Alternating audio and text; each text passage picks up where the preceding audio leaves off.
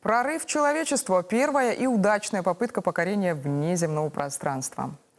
12 апреля 60 лет назад с космодрома Байконур корабль «Восток-1» с советским космонавтом Юрием Гагариным на борту совершил выход в космическое пространство. Сенсационная новость «Человек в космосе» разлетелась по всем радиостанциям. Дорогу к звездам прокладывали наши соотечественники. Петр Климук, кстати, коллега Гагарина, Владимир Коваленок и продолжает наш современник Олег Новицкий. Сейчас он как раз находится на мкс, возглавляет 65-ю экспедицию, посвященную юбилейной годовщине полета Гагарина. О Беларуси космической Светлана Чернова. Внеземными просторами Миша Кулик интересуется уже 11 лет. Их класс в столичной второй гимназии особенный, космический. Изучает устройство летательных аппаратов, знакомится с нюансами полета и встречаются с теми, кто сверху наблюдал за нашей планетой. Белорусский космонавт Олег Новицкий для школьников кумир. О нем знают не по материалам в интернете, а из личных бесед.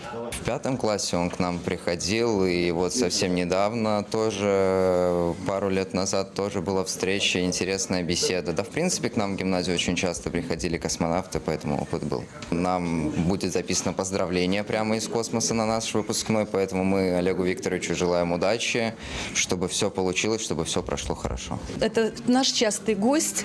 Вот, э, мы были приглашены э, в Звездный городок, и наш класс ездили туда. Как раз в это время Олег Новицкий готовился ко второму полету в космос, и мы были, присутствовали, когда он сдавал этот экзамен. В качестве командира международного экипажа корабля «Союз» белорус Олег Новицкий стартовал в минувшую пятницу. Наш земляк возглавил на МКС 65-ю экспедицию, посвященную юбилейной годовщине полета Гагарина. Новицкий улетел на полгода с исследовательской миссией. С коллегами встретит функциональный лабораторный комплекс «Наука». Впервые в своей карьере выйдет в открытый космос. Трижды. В обязанности командира экипажа прежде всего входит это обеспечение безопасности членов экипажа, обеспечение постоянной готовности корабля, как в рабочем состоянии, так и в состоянии корабля-спасателя, когда он уже будет пристыкован к борту станции.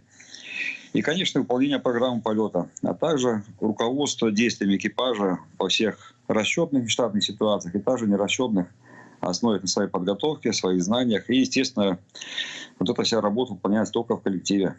Третий полет символично в канун 60-й годовщины покорения внеземного пространства. Прорыв человечества совершил Юрий Гагарин. Просторы Пятого океана исследовали и наши земляки. Петр Климук, кстати, коллега Гагарина, Владимир Коваленок. Имена, которыми гордимся. И в этом же списке Олег Новицкий. Каждый старт нашего космонавта не обходится без маминой поддержки. Переживаю, конечно, очень. Очень. Но я надеюсь на знания, те, которые получает сын в центре подготовки, на его физическую подготовку и на подготовку в целом космическую. Внутренняя есть уверенность, что все должно пройти штатно.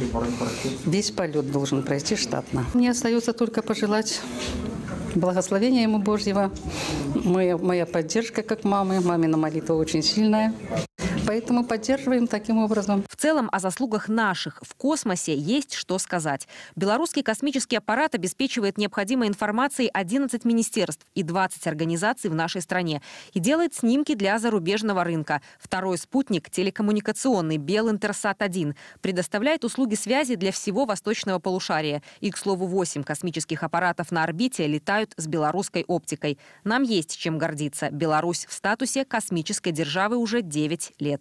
Светлана Чернова и Николай Лашкевич, агентство теленовостей.